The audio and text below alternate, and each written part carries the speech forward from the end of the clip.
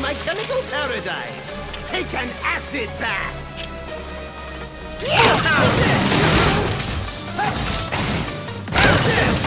Feeling